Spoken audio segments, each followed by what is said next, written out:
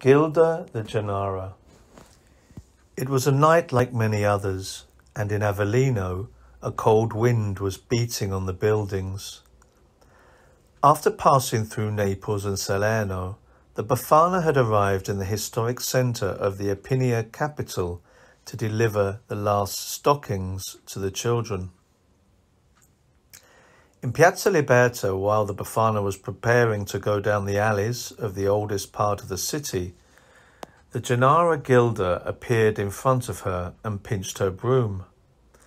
The Befana fell to the ground, but, luckily, just behind the fountain in the square, she found a broom which someone had left behind. With her magic, she made it like the original. She straddled it and started chasing her evil cousin.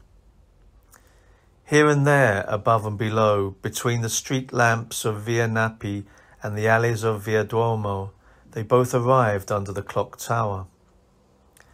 They began to circle around the most important bell tower in the city, around and around and around.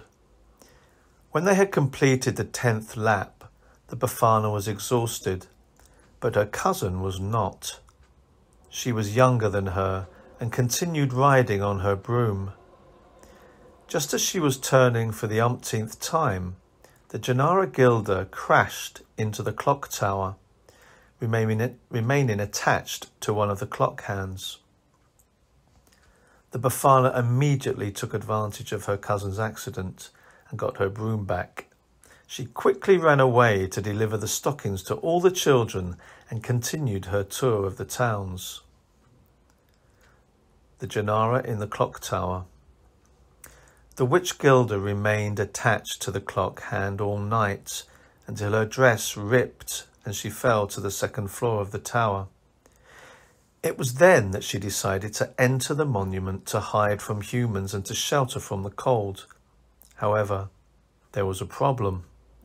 The Janara no longer had a broom and, limping as she was, could not get home. In fact, she had broken her ankle in the fall. So Gilda started living in the tower, going out at night, limping to steal something to eat.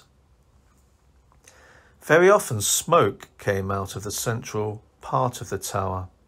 Someone had reported it, but no one would have ever imagined that a witch lived in that tower. A few years later, however, the Befana remembered her bad cousin and went to see her. Her cousin, being the eldest, took away the power of immortality and Gilda began to age. From that day, the Janara, originally from Benevento, began to go out through the streets of Avellino and went back home to the tower at night without anyone seeing her. She managed to make friends with many locals and became sweet and friendly.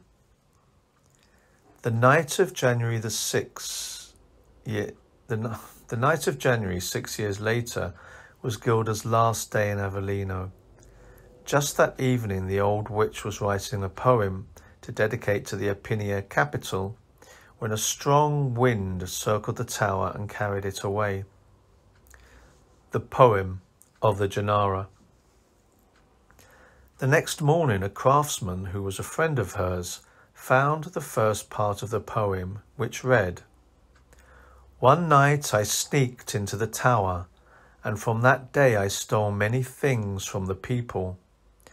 All of a sudden I began to age, and all the Avellino people started to love me.